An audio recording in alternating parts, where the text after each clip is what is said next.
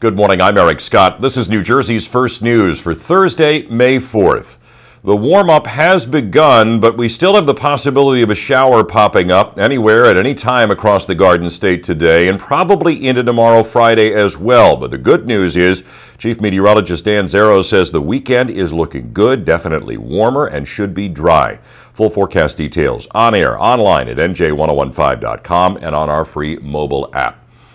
Have you gotten used to walking into the supermarket with your reusable bags yet? We are celebrating one year since the plastic bag ban went into effect in New Jersey, and many residents admit they are still getting used to it. But is it working?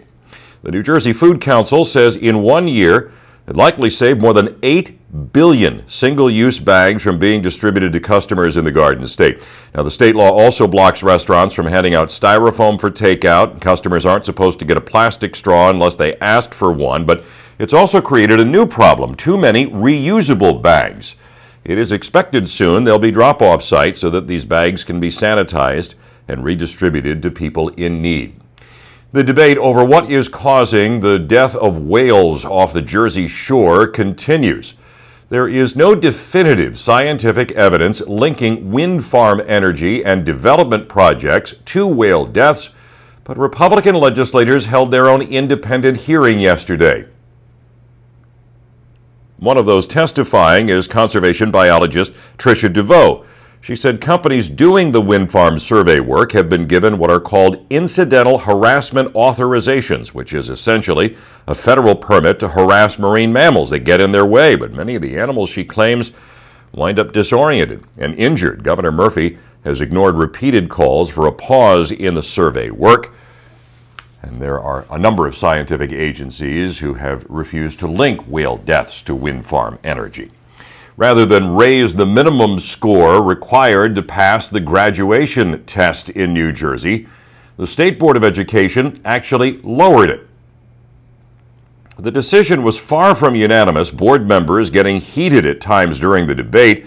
Those in favor of raising the scores argued it would encourage higher achievement among students. But had the scores been lowered, only 39% of students would likely pass English, and less than 50% would pass math. Is your local police department following new rules on how the public can report police misconduct? A new study shows few actually are.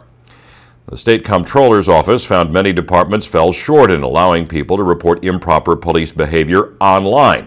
Of the 100 police websites they reviewed, 80% didn't even link to the standard complaint form as required by the state attorney general. Those departments were notified. More than half said they would update their websites.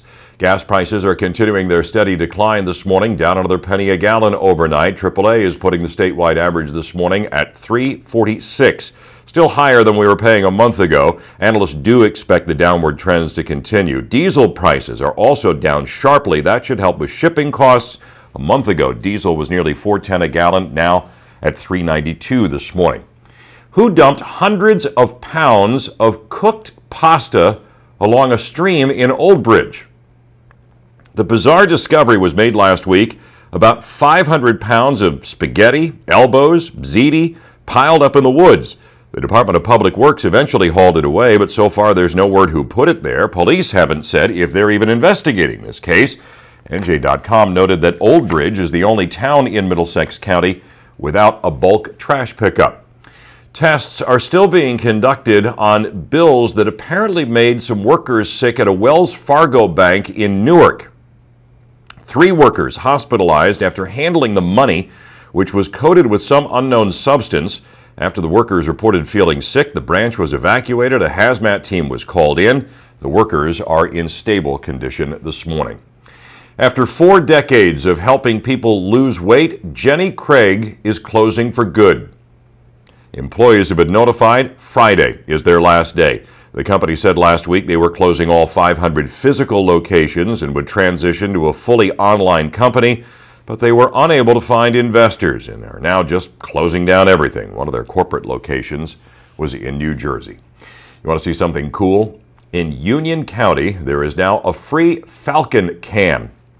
You can peek in on four peregrine falcon chicks that have just hatched on the roof of the county courthouse. The webcam site also has instructional materials for teachers and students. Peregrine falcons are endangered in New Jersey. Nesting pairs, however, have been hatching chicks from atop the courthouse since 2006. Have something to say about our top stories? Leave your comments right here. Please like and share this video. And remember, we're always taking your calls, talking Jersey on New Jersey 101.5. I'm Eric Scott. That's New Jersey's first news for this Thursday, May 4th. May the 4th be with you. Have a great day.